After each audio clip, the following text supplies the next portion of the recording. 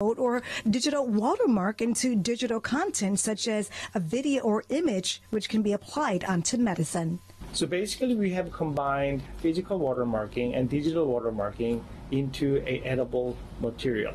So we can print out this watermark on a individual medicine and uh, you can use a smartphone and take the photo and it converts into a digital watermarking so that it's combination of physical and digital watermarking. Kim and his team are hoping to have a partnership or collaboration with major pharmaceutical companies by 2023 so they can reduce online counterfeit orders and illegally operated pharmacies.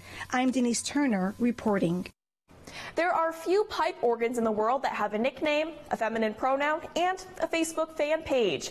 The Hazel Wright organ, or just Hazel to her admirers, was removed piece by piece in 2013 from Christ Cathedral's shimmering sanctuary in Southern California's Orange County, and then shipped to Italy for repair. At the time, the fifth largest pipe organ in the world was suffering from an infestation of bugs. Its pipes were melted and